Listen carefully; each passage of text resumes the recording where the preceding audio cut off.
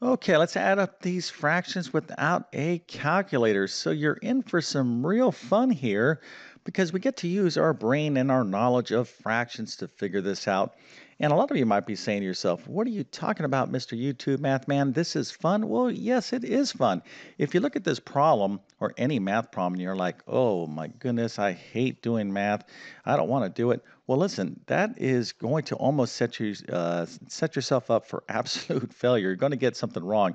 So if you have to do something, try to force yourself to have a good attitude and really stay focused in the problem. Try to kind of you know get just completely immersed in it.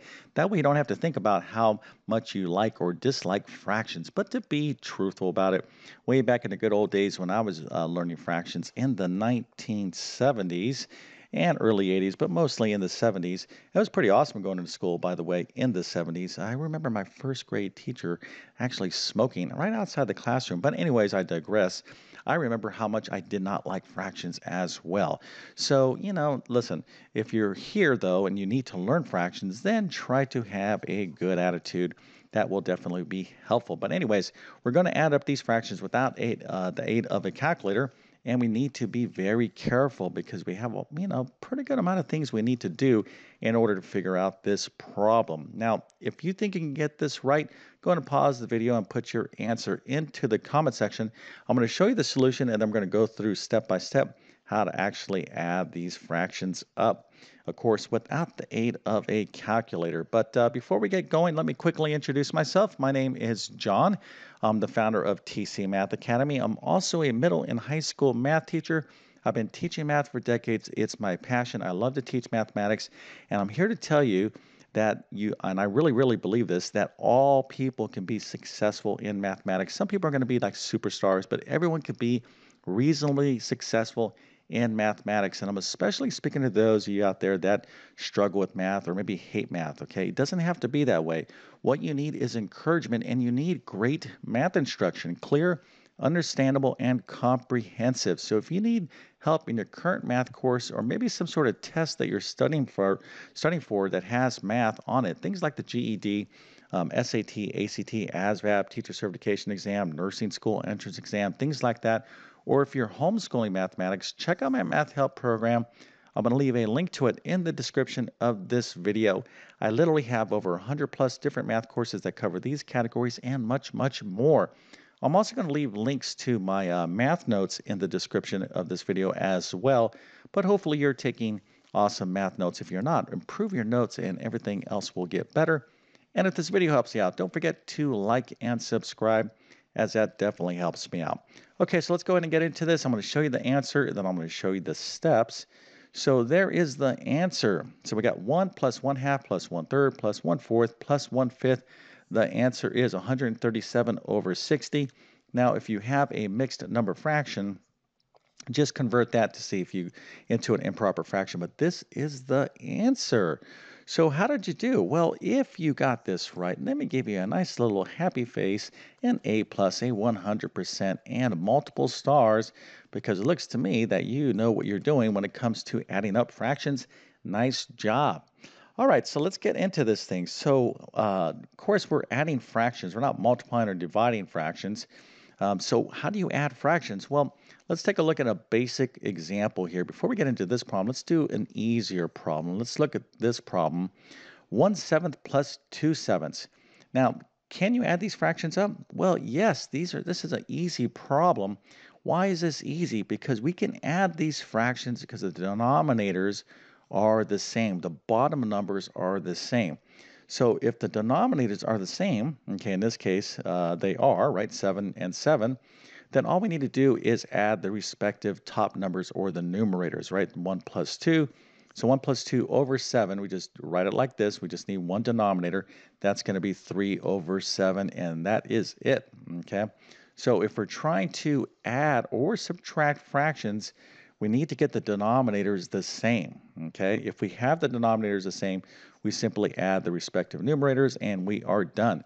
But if we look at our problem here, we have a situation, okay? We have all these denominators. This denominator here, right here, by the way, is 1, and they are not the same. So we have a uh, challenge. But don't worry, we're going to fix this thing up here in one second. So anytime you're adding subtracting fractions, you need to first examine those denominators. And we're like, okay, listen, I can't do anything with these denominators because they're not the same. So you need to be thinking to yourself, I need the same denominator. Okay, and one over here, anytime you have a number like a whole number like six, and you want to express it or see it as a fraction or think of it as a fraction, just put it over one. So one is the same thing as one over one. Okay, so what do we need to focus on now? There's a little pop uh, quiz question for you. So if I need the same denominator, that is uh, what? What's the question? Well, if you said LCD, do we need to find LCD? You would be absolutely correct. We need the lowest common denominators. Let's go ahead and talk about that right now. Okay, so we know we can't add these fractions up because the uh, do not have the same denominator. So we need to fix up these fractions such that they do have the same denominator. And what we're really saying is, hey, we want to get all these denominators in common. We want to uh, find a common denominator with all these denominators or all these numbers that are in the denominator. So how many denominators uh, do all these numbers have in common? Well, they actually have an infinite amount of numbers in common. Okay, well, that would just, you know, it's just too general. So, what we want to do is find the lowest common denominator. Okay, lowest common denominator. You know, anytime you're dealing in mathematics with, you know, abbreviations and, you know, definitions, just stop and think about what it's saying. LCD, lowest common denominator. Okay, so how do you find the lowest common denominator? Well, let's go ahead and talk about that now. But uh, real quick, if I said one third plus two fifths, and I just ask you real, um, real fast, hey, what's the LCD here? Okay, most of you uh, could say, isn't it 15? And you would be correct. Okay, but how did you know that? Some of you, or a lot of you out there, wouldn't really kind of understand how you got that answer. You'll be like, yeah, it's 15. I just knew it was 15. and that's perfectly okay because most people don't truly, I don't want to say most people, but a lot of uh, students um, don't really truly comprehend how to find the LCD. And this is very uh, important, not only in um, arithmetic, but in algebra as well.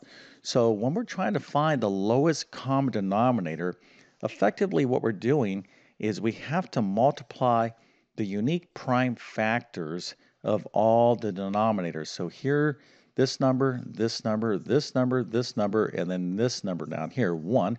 All these numbers, we need to find the prime factors of all these numbers, and we need to find one big product of all the unique prime factors. That is the formula to find the lowest common denominator. So let's go ahead and do that now. Okay, so here we go. So we have uh, 1 plus 1 half plus 1 third plus 1 fourth.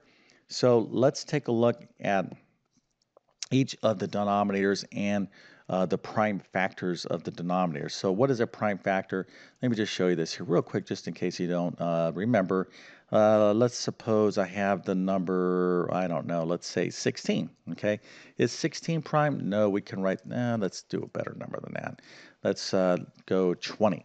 Okay, is 20 a prime number? No, it's not.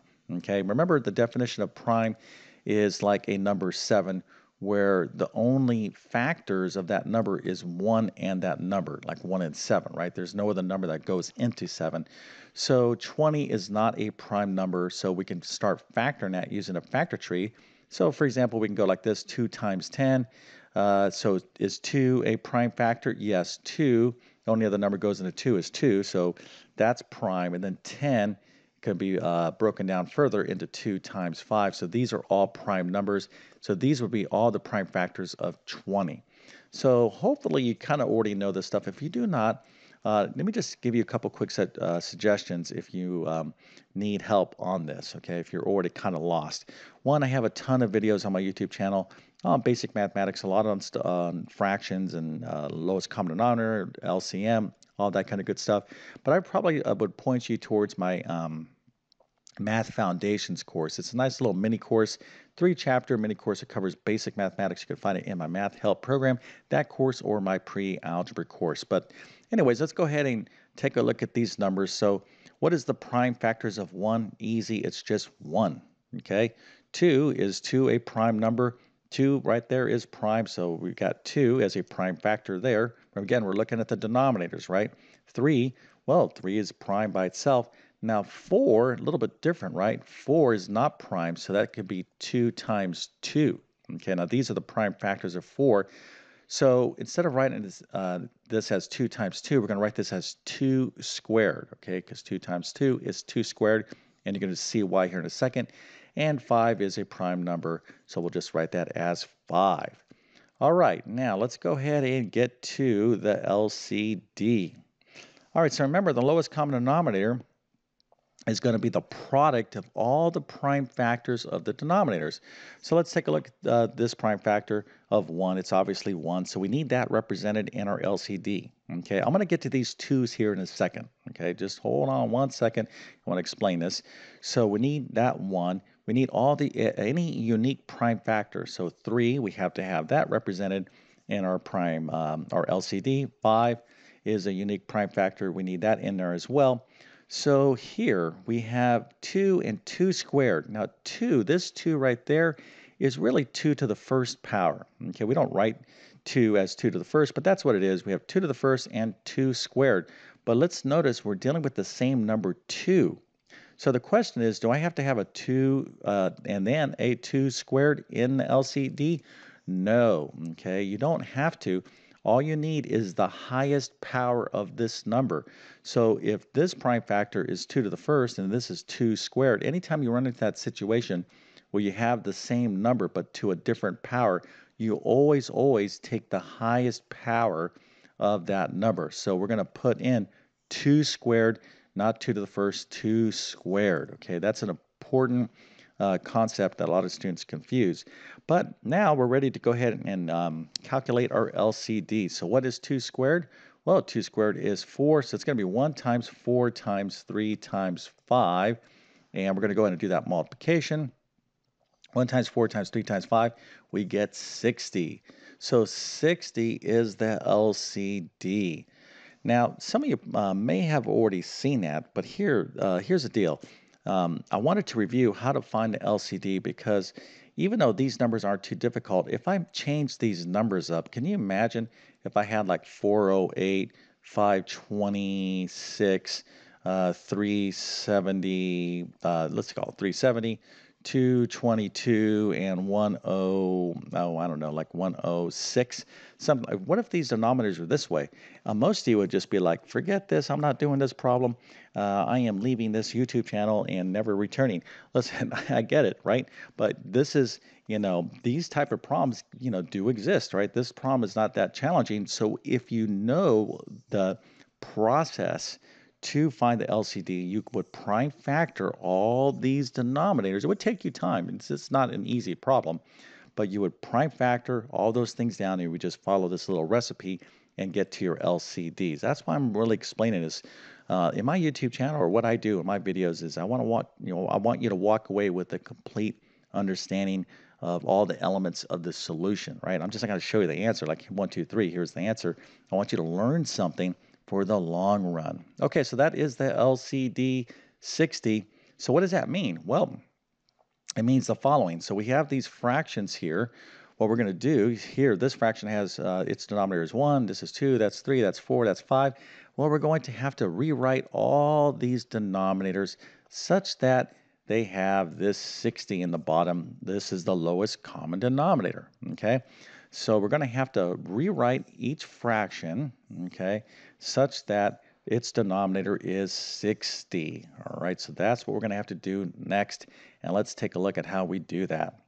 Okay, so uh, here is our fractions, okay, 1 over 1, 1 half. You can see I already did the work in advance, 1 third, 1 fourth, and 1 fifth. Okay, so here this denominator is 1. We know we have to turn this 1 into a 60. How can I turn a 1 into a 60? Easy, just multiply it by 60, right? But here's the deal. Anytime you're rewriting fractions, whatever you do to the denominator, you have to do the exact same thing to the numerator. So I'm going to take that 60 multiply by that 1. I get 60. And then 60 times this one is 60 because look, 60 divided by 60 is in fact 1. Okay, so when you're rewriting a fraction, you're not breaking it, you're not changing the value, you're just making it look different. Uh, and the reason why we're making it look different is we want that 60 in the denominator, right? We're just rewriting it in a way that uh, gets that uh, common denominator in all these various fractions. Okay, so let's look at the fraction 1 half. How can I turn that 2 in the denominator into 60? Easy, just take uh, that 2 and multiply it by 30. Now, if you don't know what number to multiply, just take 60 and divide by this number, okay, 2. All right, oh, 60 divided by 2 is 30. That's what you need to multiply by. So 30 times 2 is 60, and then we have to multiply the numerator by 30 as well. So 30 times 1 is 30. Okay, so here we have the fraction 1 third. How do I turn this into a 60? Just multiply by 20, right? So 20 times uh, 3, 60, and 20 times 1 is 20. All right, so here we have a 4. How do I turn a 4 into 60? Again, if you don't know the answer, just take that 4 and divide it by 60 uh, and you'll be uh, you'll see the answer is 15. You're like, oh, okay, 15 times 4 is 60. So I have to multiply 15 times 1, which is 15. And then we, ter, uh, we have a 5 as this denominator, so we multiply that by 12, and the numerator by 12. So we get 12 over 60. Now, I didn't say this problem was like one, two, three in terms of being uh, uh, easy, okay, because there is a decent amount of work.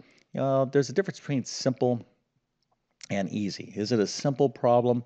Well, in you know, for some of you out there, it's uh, simple. You know, some of you out there, you know, might have already taken calculus, okay? But some of you might just be learning this for the first time. But I don't know if it's necessarily easy because there's a lot of work that you have to track, and there's a lot of uh, opportunities to make a mistake. But at this point in the problem, okay, what did we do? Well, we rewrote each fraction, okay? We rewrote one uh, such that it has a denominator of 60. We wrote, uh, rewrote 1 half, so now its denominator is 60. That's 30 over 60. Imagine if you just said, hey, reduce that fraction, you'd get back to 1 half. Same thing with 1 third. Uh, same thing with 1 fourth, and same thing with 1 fifth. If you, if you reduce all these fractions, you're going to get back to these original fractions. So you're not breaking the problem, but we finally, finally have the same denominator. Now we can add these fractions, okay? So let's go ahead and do this now. And here we go, right? So same denominator, so that's 60. So all we're going to do is add the respective numerators. So we had 60 plus 30 plus 20 plus 15 plus 12 is 137 over 60. And there you go. There is the final answer. Okay, so, you know, again, when it comes to arithmetic, and this is what this is, this is, you know, basic you know, math that you would be learning, um, you know, in the fifth grade, definitely the sixth grade. And I even hate to use that word basic. I probably should refrain from using it because nothing's basic. Okay, math is math, and uh, you know you need to respect each math problem you do. I mean, this was a decent amount of work. So if you're learning this, you're like, that's a lot of work. This is difficult for me. That's okay. Okay, because it's probably difficult for a lot of people. There's a lot of things that I covered in here. You know, the LCD you know how to um, the, the reason why we need to have the same denominators you know prime factoring etc etc so you know don't be too tough on yourself if you're learning this and you're like i'm not doing well with it. Look this is probably not the problem to start with. What you need to do is start with problems like this okay? Nice easy problems and work your way up. But i like to throw these things in there just to uh, you know have fun with these numbers. It's a good exercise because arithmetic you know is so important to your understanding of algebra. So some of you are studying algebra or if you're taking arithmetic right now you would definitely will be taking algebra. Just don't think that oh once i'm done with arithmetic i don't have to do this stuff by hand anymore. I can just use my calculator and forget all this stuff. Not true okay? You got to keep these skills um, you know anytime you learn a math skill you got to keep them for the long run. Okay, so again, if you need help with fractions, uh, basically three suggestions. One, I have a ton of videos on my YouTube channel that explain all things fractions, all different little subcategories of fractions. And then my two courses where I really teach them or teach fractions formally would be my Math Foundations course and my pre-algebra course. You can find that all at my Math Help program. All right, so with that being said, I definitely wish you all the best in your mathematics adventures. Thank you for your time and have a great day.